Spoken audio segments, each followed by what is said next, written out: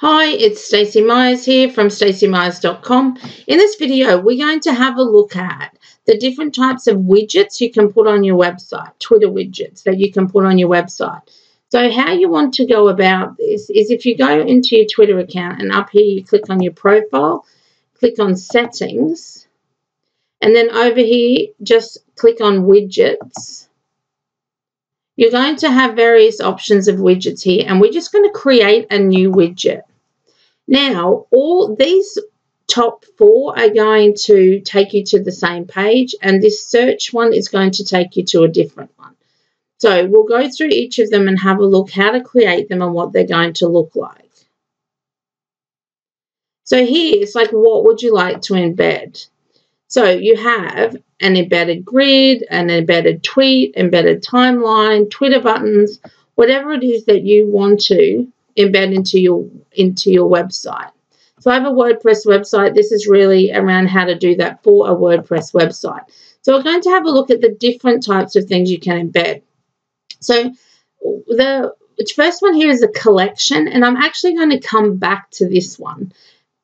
Then you can embed a, a tweet. And so if I want to click find a particular tweet that I want to embed, then I can simply do that. Now, how you're going, if you have a tweet on on Twitter that you want to embed on your website, I can show you um, what that's going to look like. So here we have I put some embedded tweets in this post. So this is an embedded tweet here. So basically what I've done is I created this image using Canva. I've uploaded it to, to Twitter. It's just a tweet on Twitter. And then I've embedded it into my blog post. So in here, people, people can actually interact with this. So you can follow me in here. You can retweet in here. You can like it. You can um, reply to me all inside of your blog post. This is another embedded tweet here. This is another one here. And so how you find your tweet. So just say you want to, you can either embed your own tweet or other people's tweets, it's fine. And so just say, for example, we want this one. So I click it to open it out. And see now up here, this is actually the direct URL to this tweet. So what I do is I will copy this. I can go back here and let me just go back. And then in here, I'm just going to enter the direct tweet and you'll see now it's pulled it in here. And then this bit here is the code that you're going to use to put onto into your website. So inside your WordPress website, you can put this code and I'll go over how to do that in a bit. I just want to show you the different types of things that you can embed into your website firstly. So this is if you want to do um, a tweet. Now, we may the thing I did notice um, with this, you just delete out the tweet and then you get the options again. So you can put in a profile. So um, I love the San Diego Zoo. I've never been there. I really want to go there. And I follow them on I follow them on Instagram, and their Instagram account is amazing. I actually was slightly disappointed when I came to Twitter. Um, it's still beautiful and all, but the what they put up on Instagram, I love, love, love. So just say I want to have a profile. So I can put a profile in here. Now, mostly you're going to be doing this for your own account. And so for my profile, so on here now, this is showing me all the tweets that are going out from the San Diego Zoo. Now, this is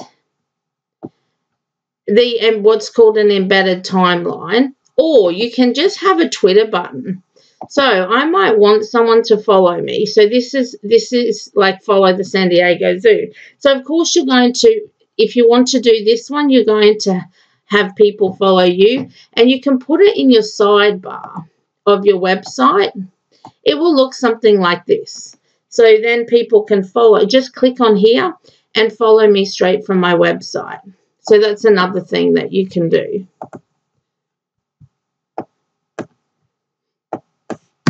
Right, and then we've got a list. So you have lists. Um, and if you're not sure how to create Twitter lists, I have a video that you can look at about this. And basically, a Twitter list, I'll take you to one to have a look at.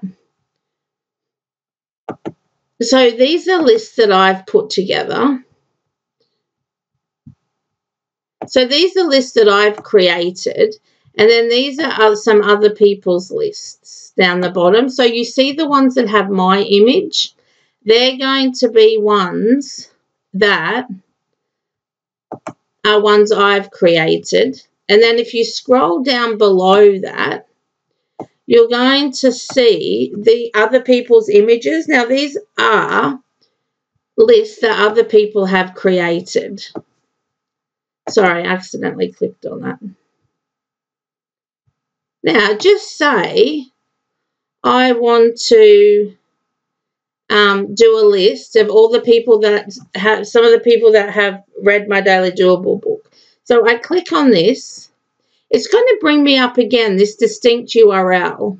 So you can see I have 170 members in this and 86 people subscribe to this list. So I simply copy and paste. So I copy that and then I paste it in here. So we'll delete the one that I've done.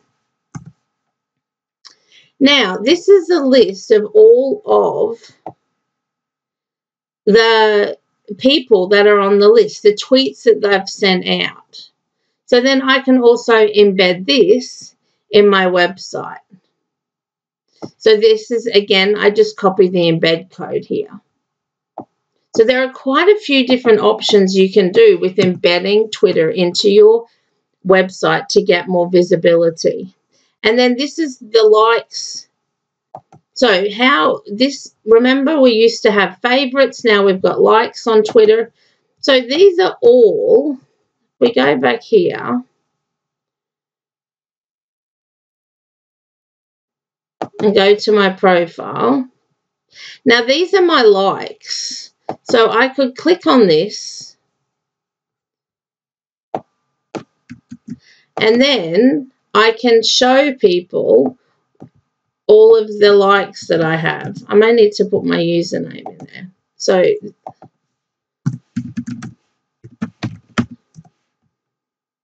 and so this shows all of the so these are tweets that I've liked. And so I can have that as an embed as well.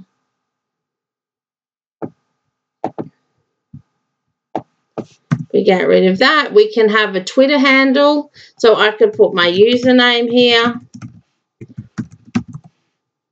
And again, this is comes back to the embedded timeline that we looked at before and also creating the Twitter button for me to put onto my website. Now, this mention button, so if I have this one, basically if I click it, then people can tweet straight to me and have a chat. Whereas the other one was for them to follow me. This one is it gives them an opportunity just to have a chat with me.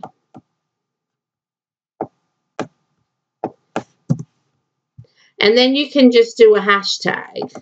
So we'll use the example here. So this is going to tweet directly out using that particular hashtag. So you set the hashtag up and then people can just come type in what they want, use the hashtag, and send that out. Actually, I just had a thought then. This would be really great if you're doing a, um, a contest. So if you did a blog post explaining a contest that you wanted to do, then you could have the link there that and if one of your things is that people have to tweet out using a particular hashtag, then they could tweet that out um, simply straight from your blog as part of your contest. So this is, so that's that one. Now, I want to talk to you about a collection. Now, you need to create the collections. You want to have TweetDeck. And so TweetDeck's owned by Twitter. And so all you want to do is come to Google and just do um, a quick search for TweetDeck.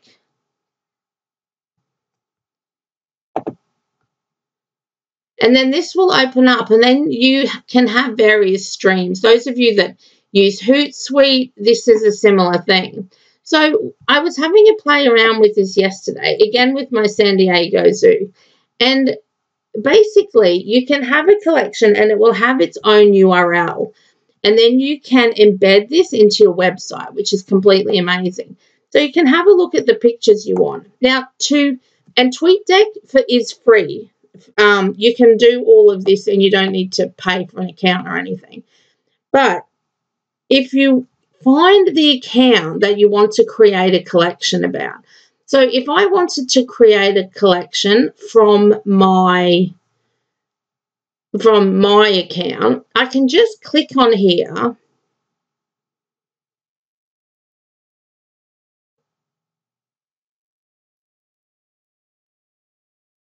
I can't find the thing I'm trying to find now. Oh, here, add column. Sorry, I was like, where am I looking? So I've clicked on add column and then I can choose home notifications. This is a great little tool just for you for doing your account and being able to follow and interact with people anyway. Tweet is great. But what we're going to do is we're going to go to a particular user. So if I wanted to create a collection from mine, um, then I can just click add column. And you can see now that it's opened up another column here. And then what I can do is create another column and you'll see that one of the options is a collection. So you just click and then you can click create collection. And here it is here. And then you can simply drag in the tweets you want. So let's stick with our San Diego Zoo, but we'll create a new collection. So I want this image in my collection. And you'll see here there's a little thing. I can drag this around. So I'm going to drag this over into my collection. And what you'll also notice is that you can do video as well, which is really great. So I might want to drag this one. And what's good about this is that we don't need to pull in the tweets that we don't want. So we can just find the ones that we really like. Now, so you can add in, let's, so I've got four here now. See if there's another one I really love.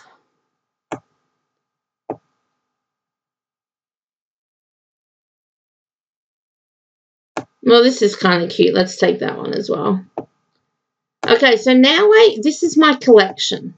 So I've pulled everything into the collection here.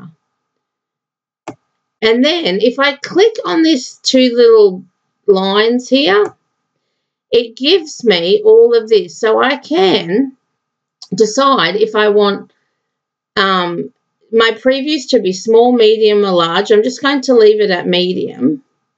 And then I can share it. So I can embed it. This, if I click on that, it's going to give me the embed code. Pull me back over here. I can view it on Twitter. So this is would be what it would look like on Twitter. So this is a this is a collection. But what's really great is when you so you can tweet about it on the timeline. So I can tweet out about it. Now, if we go back to this one, so basically how I got here was I clicked on share and then view on Twitter. So now I'm viewing it on Twitter. Now this again is it, it is its distinct URL. So if I want to copy that and pop it into here, you'll see something great happens. And then we want an embedded grid for this. And look at that. So you can create these in blog posts on your website if you have a particular thing that you want to share about. And the videos, they play as well.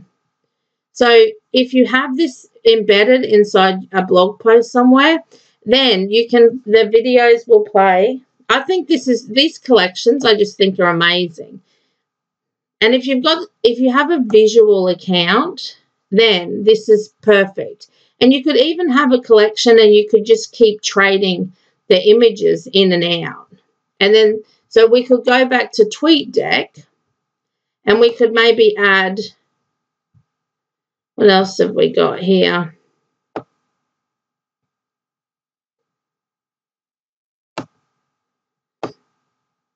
And then every time you add new ones, it's create it changes it up. So if we pull these two in and then go back here and go, if we refresh this, we may need to put the link in again. The embedded grid. So you can see now it's changed it up. So this is really great. So let's go back and just have a quick look at the options for the widgets that you can add to your website. So you can have a collection here, which is the one that we've just done that looks great. You can embed a particular tweet into, say, a blog. You can do a profile you can add a list. You can just have all the likes you have come out. You can just use your Twitter handle or you can use a hashtag. Now, if I go back to my website here, and I'm going to and show you how I to embed them into your website. So this is my blog post here. And you can see here's the embedded tweet. Now, generally, so I'm going to edit the post. And you'll see this is where we type in generally. So we come in here and we type all the things that we want and we edit it and we change it and do whatever we need to do. Then what we can do is this is the HTML. Now, depending, I have a plugin that gives me this kind of um, editor here. Now, sometimes you'll have this HTML up here, and that will bring you to the HTML code. Or you may have where it says source, and that's exactly the same as if you click on HTML. Now, what you need to do is if I come here and I need the embed code, so let's grab the collection again. I'm going to pop that in here. And then you'll see I have the code here. So this is the code for the collection. Now, these are the ones I popped in earlier. So if we scroll down, you'll see this is actually just my writing. So I want, let me just open this again on a different page. So I know where I want to put the embedded tweet in. So I know that it's going to go after where it says how to learn PicMonkey. So if I come back in here, I scroll down and you can read in here. It just has all the other stuff as well. So I just scroll down and find where what I was saying ends. Right, here, how to use PicMonkey. And then I've said, here's one I created in Canva. And you'll see here, this bit here is the bit that I have copied in and embedded from what I took from here. Now, you have to go into the HTML part. If you just copy it into the visual bit here, you're not, it's not going to work. All you're going to see is the embed code put into, um, it will come up like you've just typed it. Now, what I want you to notice is in here, it's not showing me the actual tweet. So it's it all it is is like this is the tweet that I've done. Who did it, the date and everything. But when you come out and preview it on your website, it actually shows you the tweet. So if you don't see it in here, don't freak out because you'll be able to see it out there. Now, we grab the code. Let's grab the code from here. So I've copied this code now. If I need to go into the HTML section of my blog post, then let me just go right down the bottom here and I'm going to paste it in. And you'll see it just is like one line of script. Then if I update that,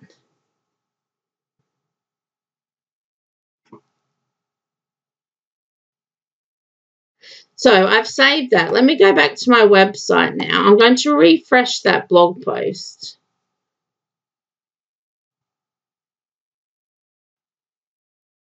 And remember, we put it right down the bottom.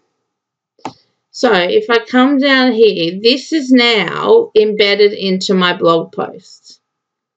So this is what we did. So it's so fantastic. And if I go back here to TweetDeck, tweet deck, I mean, and make changes to it, then those changes are going to show up here. I'm not going to have to come back in and re-embed the code every single time. Every time I make changes, they will appear here. So I'm going to come back here and go down the bottom again and then delete that out because, of course, we don't want it there. But it really is as simple as that. Just update that post again. So I invite you to have a bit of a play around and see what you can create in here. And then you can embed them into your website. So we went through the different types and then also how to embed them. Send me your links. Like if you do a blog post and put a link in, tweet me at Stacey L. Myers and send me the link and say that you did an embedded tweet in there. Um, and I will come and have a look at it and see if you've done a collection. And for the collections, you want TweetDeck. So just um, do a search for TweetDeck. So let me know if you have any questions. I'd love for you to follow me on YouTube. And yeah, go and embed some tweets.